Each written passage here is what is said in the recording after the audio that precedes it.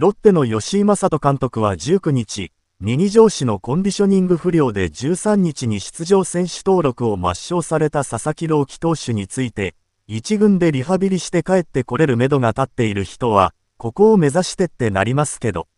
二軍に行っちゃった人はもう行けるようになったら教えてっていう感じです。二軍にリハビリに行った形の選手はみんなそうですねと語り、復帰の時期は定めず、本人のゴーサインを待つ意向を示した。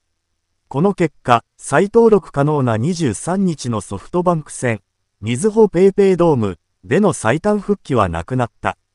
佐々木は5月24日のソフトバンク戦、ZOZO マリンで今季4勝目を挙げた後、上半身の疲労回復に遅れが見られたため同28日に出場選手登録を抹消。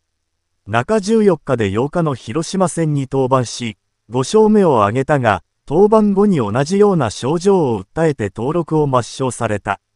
佐々木は現在一軍に同行せず、浦和の球団施設で調整中。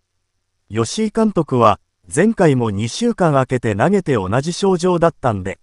また2週間空けて投げられないこともないとは思うんですけど、それだと彼のパフォーマンスも上がってこない。